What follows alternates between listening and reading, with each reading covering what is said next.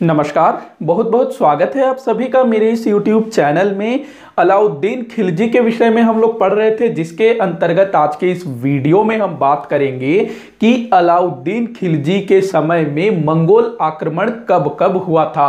देखिए, जब से हम लोगों ने दिल्ली सल्तनत पढ़ना चालू किया है, उसी समय से इल्तुतमिश के शासन काल से ही भारत के पश्चिमोत्तर सीमा पर मंगोल आक्रमणकारियों का खतरा शुरू हो गया था। वो लोग जो है भारत की ओर नज़रें लगाना शुरू कर दिए थे और इल्तुतमिश के समय में वो लोग भारत की सीमा तक पहुँच गए थे। लेकिन भारत के अंदर जो है प्रवेश नहीं कर पाते हैं।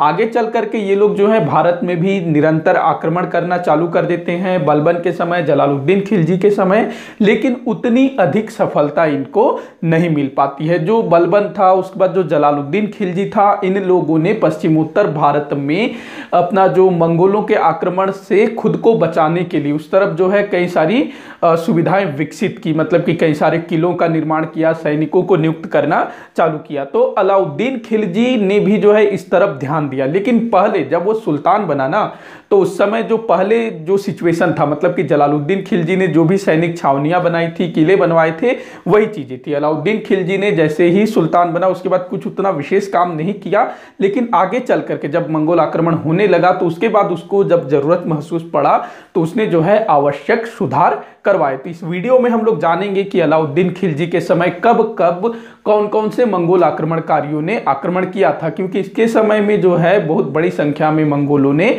आक्रमण किया था। तो वीडियो को आखिर तक देखिएगा अच्छा लगता है तो लाइक और शेयर ज़रूर करिएगा। तो चलिए शुरू करते हैं आज के इस टॉपिक को, अलाउद्दीन खिलजी के समय में मंगोल आक्रमण। तो देखिए, इस समय मंगोलों का जो आक्रमण था, उसका उद्देश्य हम लोग पहले जान लेते हैं। तो जो प्रारंभ में, जो इल्तुतमिश के समय में जो मंगोल आक्रमण कर रहे थे, उसके बाद जो मंगोलों ने आक्रमण किया था, उनका उद्देश्य क्या था? केवल और केवल लूटपाट करना। मैं कोशिश करूँगा कि ये जो मंगोल आक्रमणकारी थे, इनके ऊपर अलग से डिटेल में वीडियो बनाओ इनका जो शुरू से लेकर के मतलब कि कहाँ से इनकी उत्पत्ति हुई किस प्रकार से ये लोग जो है शक्तिशाली हुए तो वो सारा कुछ जो है अलग से मैं बताने का प्रयास करूँगा। तो जो मंगोल आक्रमणकारी थे, इनका जो मुख्य उद्देश्य हुआ करता था, वो था लूटपाट करना, धन संपत्ति प्राप्त करना, ये उनका मुख्य उद्देश्य था। लेकिन अलाउद्दीन खिलजी के समय में जो प्रारंभिक आक्रमण थे, वो तो केवल लूट के लिए थे। लेकिन आगे चल करके इनका उद्देश्य क्या हुआ? भारत में साम्राज्य की स्थापना करना। जिस प्रकार से तुर्कों ने भारत में साम्राज्य की स्थापना की उसी प्रकार से मंगोल आक्रमणकारी भी भारत में साम्राज्य स्थापना का स्वप्न देखने लगे। तो अलाउद्दीन खिलजी के समय में जो पहला आक्रमण हुआ था वो अलाउद्दीन खिलजी के सिंहासन पर बैठने के कुछ ही वर्ष पश्चात हुआ था। मतलब कि बारह सौ हाँ बारह सौ सतानवे अठानवे में मंगोलों ने भारत पर आक्रमण किया। जो पहला आक्रमण हुआ था कब? बारह सौ सतानवे अठानवे में अलाउद्दीन खिलजी के समय में। तो इस समय जो है मंगोल सेना का नेतृत्व किया था कादर नामक एक मंगोल नेता ने। याद रखना है कि आ, किस नेता ने कब आक्रमण किया और उसका जो है अलाउद्दीन खिलजी की तरफ़ से किसने सामना किया? तो कादर इसने जो है अलाउद्दीन खिलजी के शासनकाल में पहली बार आक्रमण किया मतलब कि अलाउद्दीन खिलजी के समय में जो प्रथम मंगोल आक्रमण हुआ था, उसमें मंगोल आक्रमणकारियों का नेतृत्व तो किसने किया था? कादर नामक मंगोल नेता ने। और यहाँ पर उसका सामना किसने किया था? मुल्तान में एक सैन्य अधिकारी रहता था मतलब कि मुल्तान में अपना जो अलाउद्दीन खिलजी था, उसने अपना सेना रखा हुआ था और वहाँ पर उसने एक सैनिक अधिकारी को नियुक्त किया था, जिसका नाम था ज़फ़र खां। देखिए, मैंने बताया था कि जो बलबन है, जलालुद्दीन खिलजी है, इन लोगों ने पश्चिमोत्तर भारत में बहुत सारे किले, बहुत सारे सैनिक छावनियों का निर्माण करवाया था, ताकि मंगोल आक्रमणकारियों से रक्षा किया जा सके। तो कुछ उसी टाइप का था। तो ज़फ़र खां वहाँ जो है, मुल्तान में एक सेना का नेतृत्व कर रहा था। तो ये जो है, कादर को भारत में प्रवेश करने से रोकता है।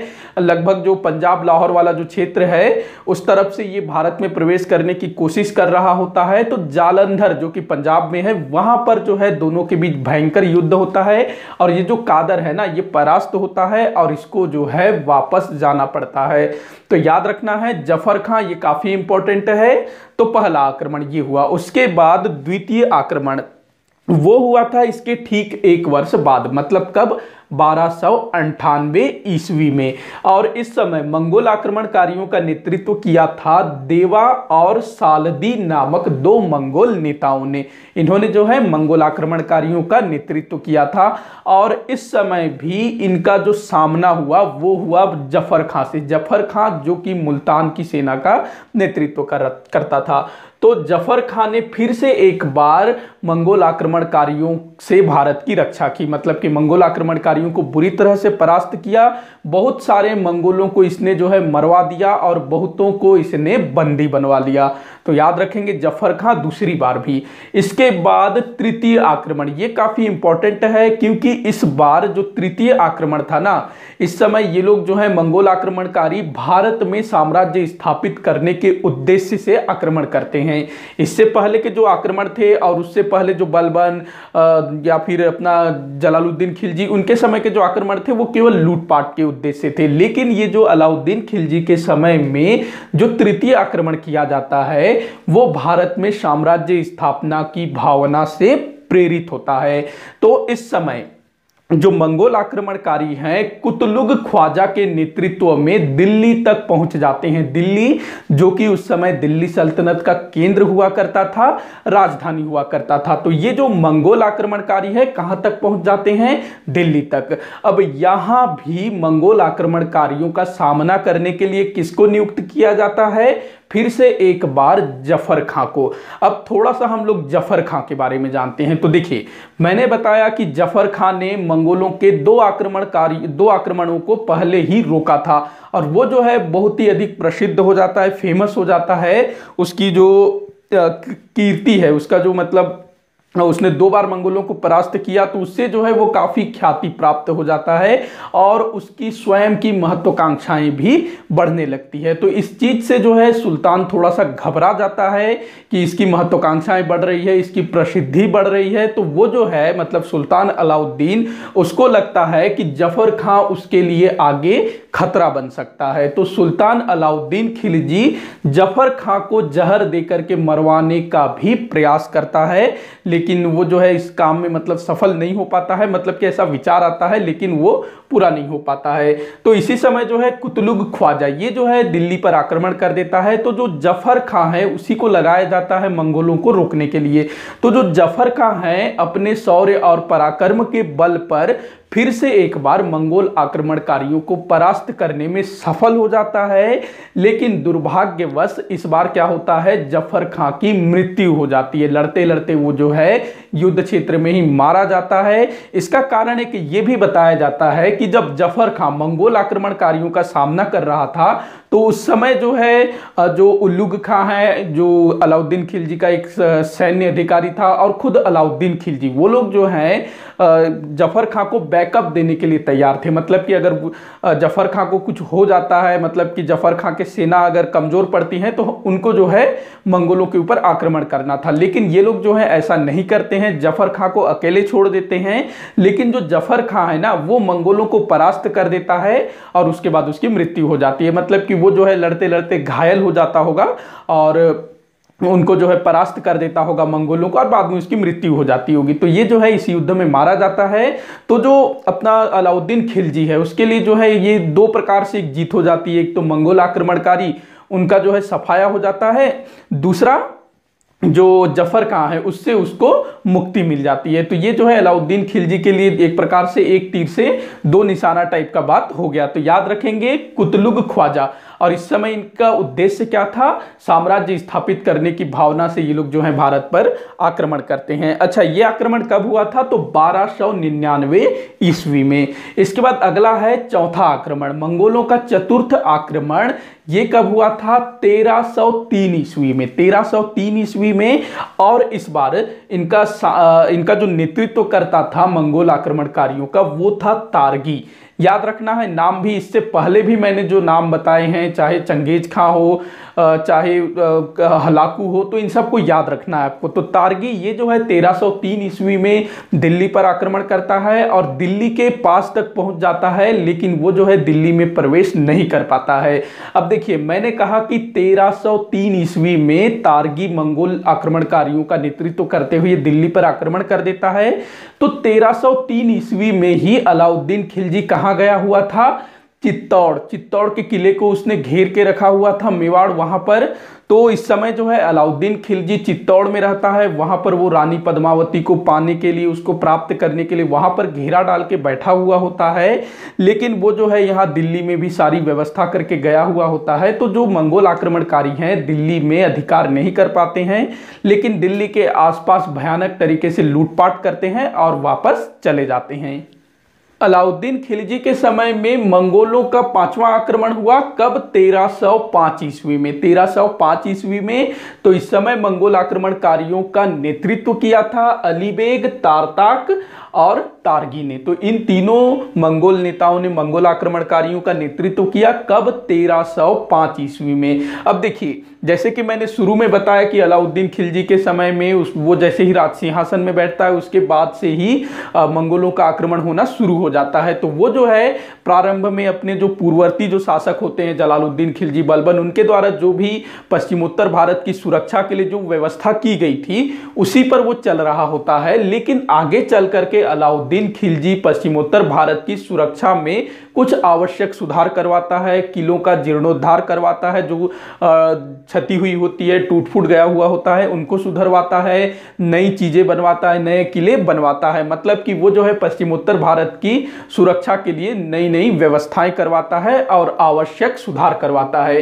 तो 1305 ईस्वी में जब अली बेग तारतार्क और गार्गी, ये लोग जब भारत में आक्रमण करते हैं तो इनको विशेष सफलता प्राप्त नहीं होती है। मतलब कि ये लोग जो है, भारत के अंदर प्रवेश नहीं कर पाते हैं और जब ये लोग वापस जा रहे होते हैं, जो भी लूटपाट में इनको जो धन संपत्ति प्राप्त हुई होती है, क्योंकि ये लोग जैसे ही अपने यहाँ से निकलते हैं ना मतलब जहाँ इनका निवास है, वहाँ से निकलते हैं तो रास्ते में जो भी चीज़ पड़ता है, जो भी शहर नगर पड़ता है, उसको लूटते हुए चलते हैं। तो इनके साथ जो है, हमेशा लूट का बहुत सारा माल हुआ करता था। तो जब ये लोग वापस जा रहे होते हैं, अपना लूट का माल लेकर के तो रास्ते में मलिक काफुर और गाजी मलिक। ये लोग जो है, उनको पकड़ लेते हैं और उनको परास्त कर देते हैं। बहुत सारे मंगोलों को बंदी बना लिया जाता है, बहुतों की हत्या कर दी जाती है। ये वही मलिक काफुर है, जिसको हज़ार दिनार में गुजरात से खरीदा गया था और जिसने दक्षिण भारत को जीता था। और ये जो गाजी मलिक है ना, ये भी बहुत ही महत्वपूर्ण है। आगे चल करके खिलजी वंश के अंतर्गत बहुत बड़ा पद प्राप्त करता है और खिलजी वंश का अंत करके एक नए वंश की स्थापना करता है। तो इसके बारे में भी पढ़ेंगे। तो ये दोनों जो है मार्ग में इनको रोक लेते हैं और इनको परास्त करके इनके यहाँ से जो भी लूटा हुआ माल होता है, उसको अपने कब्जे में कर लेते हैं। तो ये था मंगोलों का पांचवा आक्रमण, इसके बाद छठवां आक्रमण, जिस समय मंगोल आक्रमणकारियों का नेतृत्व किया था कबक नामक मंगोल नेता ने। तो इसको भी जो है विशेष कोई सफलता प्राप्त नहीं होती है। अच्छा एक चीज़ और याद रखेंगे कि जो मंगोल आक्रमणकारियों का जो पांचवा आक्रमण था ना 1305 ईस्वी में तो गाजी मलिक ये जो है यहाँ पर अच्छा काम करता है, मंगोलों से मंगोलों को परास्त करता है और उनका जो भी लूटा हुआ माल है, उसको अपने कब्जे में ले लेता है। तो जो सुल्तान अलाउद्दीन खिलजी है, गाजी मलिक से प्रभावित होकर के उसको पंजाब क्षेत्र का सूबेदार नियुक्त कर देता है, इसको भी याद रखेंगे।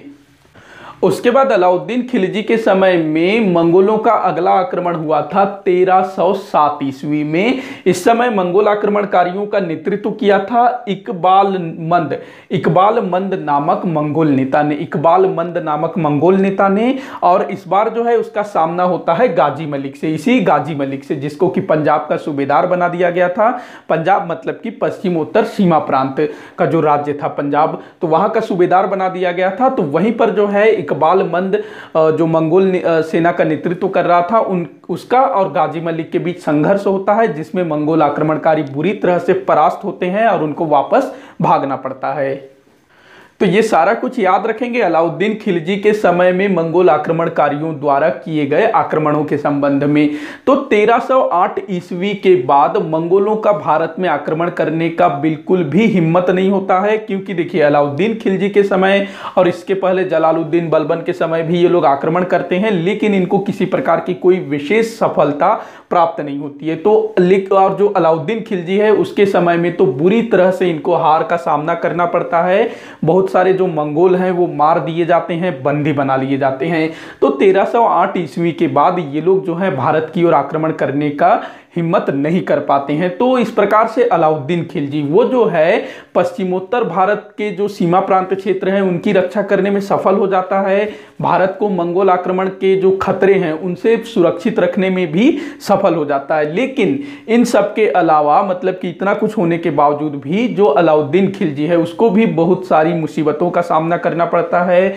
बहुत सारा उसका जो धन दौलत है, उसकी जो सैन्य शक्ति है, वो इस काम में उसको लगानी पड़ती है। क्योंकि देखिए, पश्चिमोत्तर उत्तर सीमा प्रांत में बहुत सारे दुर्गों का निर्माण करवाता है। बहुत सारे जो पुराने दुर्ग होते हैं, जो पुराने किले होते हैं, उनके मरम्मत में बहुत सारा रुपया जो है उसको बर्बाद करना पड़ता है। और जो सैनिकों का जो खर्चा है और बहुत सारे सैनिक हताहत भी हो जाते हैं तो इस प्रकार से जो अलाउद्दीन को भी बहुत ही नुकसान उठाना पड़ता है। लेकिन वो जो है, भारत को मंगोलों के आक्रमण के भय से मुक्त कराने में सफल अवश्य हो जाता है। तो आज का ये जो लेक्चर है, यही समाप्त होता है। तो इसके बाद अगले वीडियो में हम लोग अलाउद्दीन के समय की जो प्रशासनिक व्यवस्था थी, सैन्य व्यवस्था थी, उसका जो बाज़ार नियंत्रण था, उन सब पर चर्चा करेंगे। तो आज का ये वीडियो जो है, यही समाप्त होता है। अगर ये वीडियो आप लोगों को अच्छा लगा हो तो वीडियो को लाइक करिए चैनल को सब्सक्राइब करिए, ताकि आगे भी ऐसे ही वीडियोस देखने को मिलता रहे। वीडियो को आखिर तक देखने के लिए बहुत बहुत धन्यवाद।